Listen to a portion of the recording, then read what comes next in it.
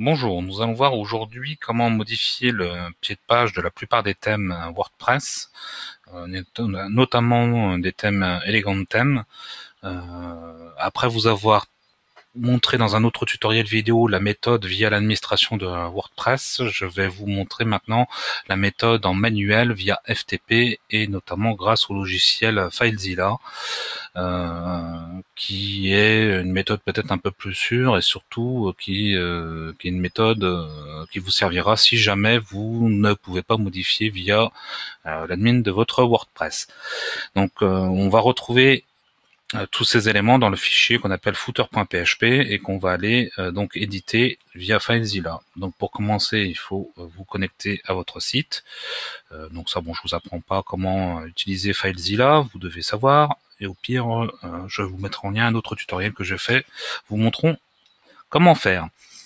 Donc vous allez dans le dossier de votre site, vous double-cliquez sur WP Content, puis sur thème, et vous allez chercher donc le thème en question. Donc moi, il s'agit d'un thème enfant. D'ailleurs, je vous invite euh, pour euh, toute modification de ce style-là à créer un thème enfant. Donc euh, bah, vous chercherez sur sur YouTube, il doit y avoir plusieurs tutoriels qui vous expliquent comment faire un, thème enfant. mais le principe est même, que ce soit sur un thème normal ou un thème enfant. Donc on ouvre le dossier du, du thème et on va chercher le fichier footer.php. Par mesure de sécurité, je vous invite à faire une copie de votre euh, fichier avant modification.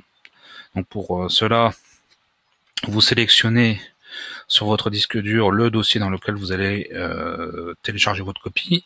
Donc moi, comme c'est un test que je vais supprimer, j'ai créé un dossier à supprimer. Mais bon, moi je vous invite à créer un dossier sauvegarde pour chacun de vos sites.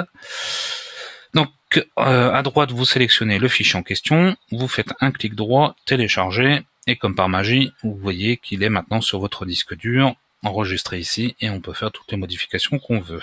Donc à nouveau, on sélectionne le fichier, on clique sur afficher, éditer.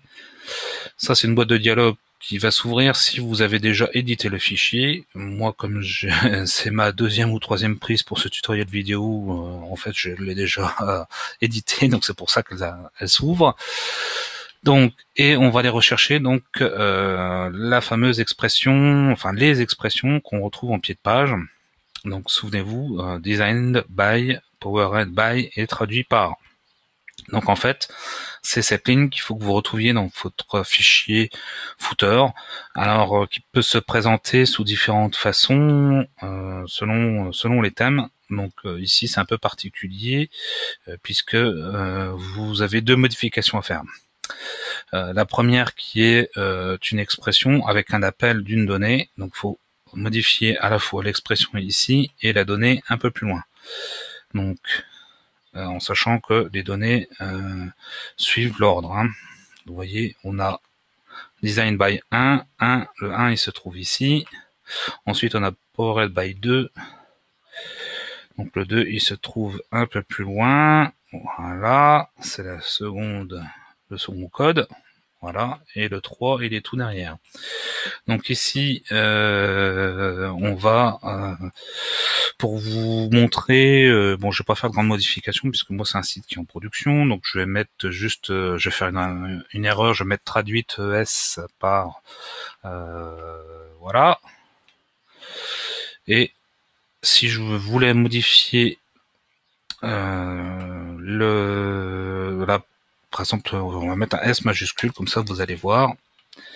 Donc, fichier enregistré. Donc on enregistre, on réduit notre fichier pour valider la modification dans FileZilla, ça c'est très important. Et ensuite on va aller voir sur notre site. Donc on renouvelle la page. Alors attention, si euh, vous utilisez un plugin de cache, videz votre cache, sinon vous verrez pas les modifications et il peut arriver aussi que chez certains hébergeurs qui utilisent un système de cache, la modification n'apparaisse pas tout de suite. Donc là vous voyez qu'on a traduite ES, on a bien nos fautes qui sont euh, qui sont apparues, euh, voilà. Donc comme ça, je vous ai montré où, où on pouvait modifier.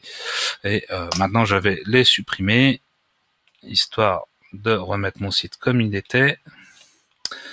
Et vous saurez comment faire. Voilà, ça n'est pas plus compliqué que cela. Donc on enregistre. Voilà, on réduit le fichier, on retourne dans FileZilla pour valider la modification. Voilà. Et maintenant, on renouvelle la page de notre site. Et vous voyez que voilà, la modification a été prise en compte. Eh bien écoutez, je ne vous embête pas plus longtemps puisque ce tutoriel est maintenant terminé. Et je vous dis à bientôt pour un prochain tuto. 周周。